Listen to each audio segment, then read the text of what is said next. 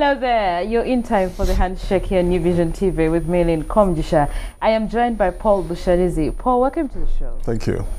So, how have you been? Great, fantastic. Would you know the number of SMEs in the country? Oh, I think there's an SME around, not even around every corner, but I think there are as many SMEs as people in this country. Absolutely. Yes. Okay, maybe if you say half the population, maybe it's too young. but so, I think that's. Right. So SMEs are small and medium enterprises. Now, there is something called SME financing. What would that be? Well, um, it's it's um, a recognition that you cannot uh, finance you cannot uh, finance SMEs the same way you finance big companies. Okay. Um, so they need a special kind of uh, financing, special kind of treatment, and um, so that I mean, you talk about Uganda, we we lack a lot of that specific uh, SME financing. Right. So, who qualifies for this thing? How do you qualify?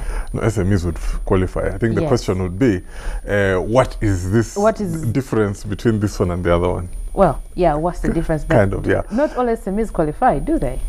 Well, not all qualify. Yeah. Uh, but um, what I should have also said is that SME, but I said actually, is that SME financing is tailored towards the individual uh, peculiar needs of the SMEs. Right. SMEs, one, do not have, uh, many of them might not have collateral. Mm-hmm. Many of them may not have uh, even a formal structure. Mm. You know, not everyone, SMEs, there are companies which are not registered. Okay. Mm, you know, the woman who is uh, selling uh, Rolex on the, around the corner might not be registered, but she's a business. You might not recognize her formally, but she is. Sure. So they, they might not have collateral, they might not be registered, they might not even have bank accounts. Mm. Uh, so there's no way of tracking uh, their business in an independent way apart from going to the guy and he tells you, oh, I make about 100,000 shillings a day. Mm. But you can't really tell. Okay. So uh, SME financing would cater to that kind of, would, would be tailored towards those kind of people. Right. Um, but then there are challenges, as you say. Not everyone qualifies. Yeah. So, um, you know, a study was done to see, you know, what kind of people qualify for, or what are the challenges of SMEs getting financing. And one of the things, of course, as we said earlier, that uh, one, many times they don't have books, so you can't really tell. Oh yeah, books of records. You yeah. can't tell is this guy profitable? Is he making money every day? Mm. Is he earning money every day? You know, what's his state? Two, they might not have collateral. And Yeah. you're talking about basic things, uh, um, you know, land. Nuts. Okay, I'm just saying, not a basic thing, but land, collateral, Oh yeah. recognized, Yeah. yeah. uh, you know, uh, formal collateral of land and things like that. Mm. And, uh, you know, finally, you know, they, they just are not organized. So it's hard to finance somebody who, for example, your Rolex person, you know, if he wants to dodge your debt, he just moves to another corner. You can't look for him in this corner, you can't find him. So you're just not organized. Right. Yeah. So what is is this quite important for them? No, it is very important because um, obviously, uh, obviously, without money, it's a bit difficult to sustain your business. Sure. You, you have challenges uh, with your business, and your ability to expand uh, is is not uh, is limited. I mean, for example, if I have challenges with getting money Mhm. every day, day to day capital, then I can't give you credit. And I can't, if I can't give you credit, that's maybe a lost client because Yeah. the client probably has challenges, but he'll get the money. But I can't afford to give you credit because if I give you credit, Mm. I won't be able to cook my Rolexes for the next yes, day. Yes.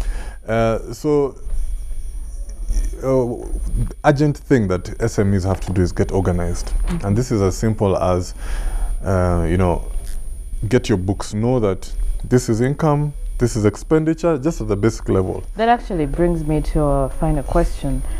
How can SMEs, you know, take advantage of these financing opportunities?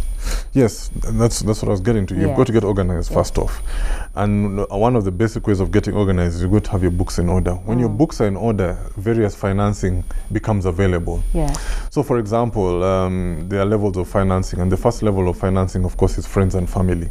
Right. You know, these Yeah. guys they can give you money, and they won't really care about your books. Mm. But the next level, which might take you to the next level of um, your business, is guys they call them angel investors. So these are guys, maybe individuals, not necessarily fam- friend and family, Mhm. who want to put money in something and hope to get a return.